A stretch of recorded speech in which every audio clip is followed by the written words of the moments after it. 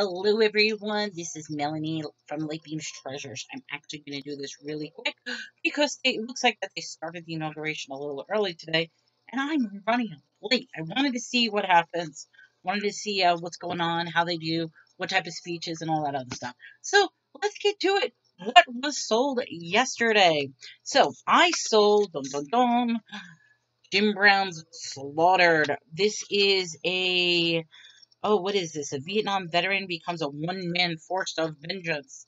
1972 movie. This one sold for $6.99.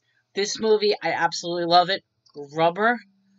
Stupid concept, but it's one of those movies you have to see. It's the story of a rampaging rubber tire that goes on a killing spree.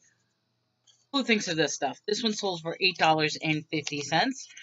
We have Dead in Driving.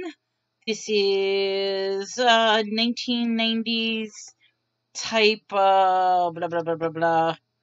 I have no idea what it's about. Dead and Driving. that one sold for eight dollars. Then we have Bedways, the German provocative film. This one sold for fourteen dollars and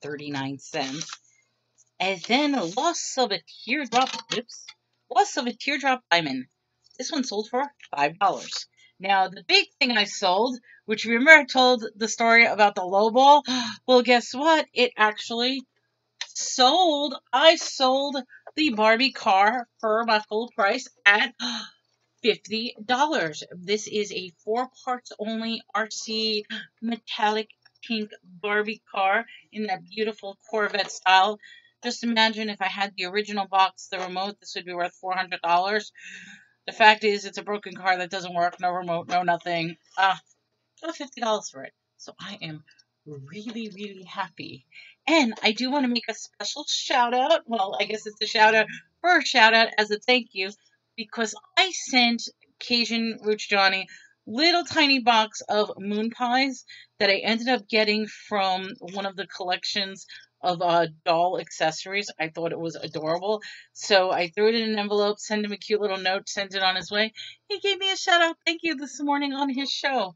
That was so sweet. Thank you so much. I can't always catch his show in the mornings because I'm always running around all over the place.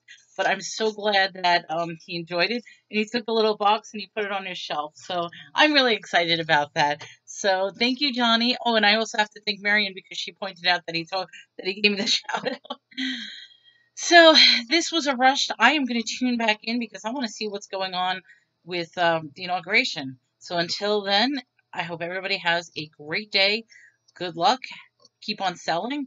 And after this is all done, after I wrap this up, today for me is a listing day. List, list, list, list, list. Till next time, this is Melanie with Light Beams Treasures.